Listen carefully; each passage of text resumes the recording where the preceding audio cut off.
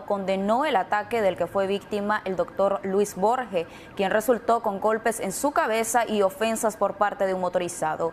Jocelyn Rojas nos amplía.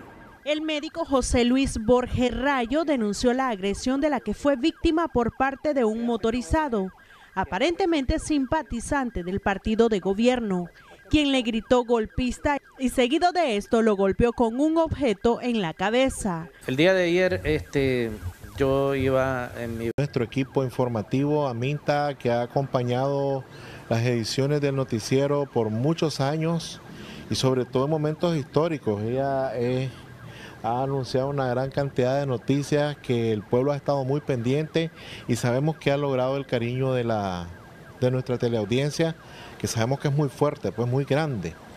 Hoy pues ella ha decidido emprender una experiencia política y ella pues creo que mejor que nadie nos puede decir qué es lo que va a hacer.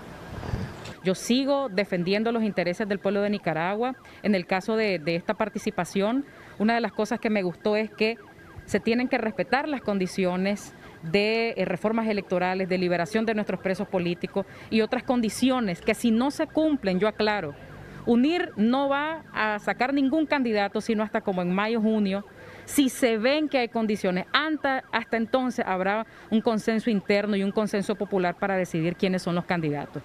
Si las condiciones no se cumplen, nosotros no vamos a participar de ningún círculo o ningún circo electoral. Y eso es importante aclararlo porque no podemos burlar la dignidad y el sufrimiento tan, tan vulnerable que viven los nicaragüenses. En cuanto a la polémica postura de iniciar esta etapa dentro del cuestionado Partido Conservador, asegura estar representando a la sociedad civil dentro de la alianza UNIR, sin llevar bandera partidaria, aunque sí confiesa comulgar con algunas líneas de esa organización. Yo tengo mi claridad de eh, la responsabilidad y de los buenos actos de estas personas que lamentablemente han sido manchadas precisamente por esta cultura de, de, descalificar, ¿verdad?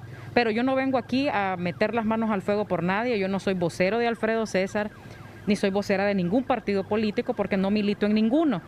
Simplemente fui invitada a participar en el segmento de sociedad civil. Entonces, eso quiero que quede muy, muy claro. No estoy participando de ningún partido político, sin embargo, por convicciones y principios morales muy naturales de mi persona, coinciden con algunas cosas pues, que, que expresa el Partido Conservador, porque claro está, la iniciativa la está impulsando el Partido Conservador. Pide a sus seguidores creer en ella y no en los que estén a su alrededor.